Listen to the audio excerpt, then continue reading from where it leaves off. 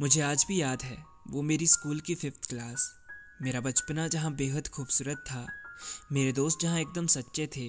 Studies में बहुत अच्छा रिस्पॉन्स था और शरारतों में मैं एकदम नया। जहाँ सीख ही रहे थे, बदतमीजी भी और पढ़ाई भी, शरारतें भी और मस्ती भी, और हाँ दोस्ती भी। मतलब तो नहीं मालूम था, पर कुछ एक थे क्लासमेट्स जिन्हें मैं जिगरी दोस्त मानता था।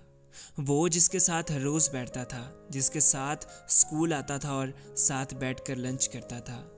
उन दिनों मेरी ज़िंदगी बेहद हसीन थी, क्योंकि पढ़ाई उतनी भी मुश्किल नहीं थी। हाँ स्कूल ना आने के बहाने मैंने तब भी बहुत बनाए थे, लेकिन हट फिर कर स्कूल आना ही पड़ा था। हाँ ये फिफ्थ वही क्लास थी जहाँ बचपना था, मगर महसूस होता कि हम बड़े हो गए। क्योंकि फिफ्थ में पहुँचना हमारे लिए बड़े होने का पहला लेवल था। वो तो बाद में पता लगा कि उन दिनों भी हम बच्चे ही थे। और कुछ याद हो या ना हो, पर मुझे हर वो क्लासमेट याद है, जिसके साथ मैंने फिफ्थ क्लास के खूबसूरत लम्हे जिए थे। आई रियली मिस यू यारों। तुम तो शायद भूल भी गए होंगे।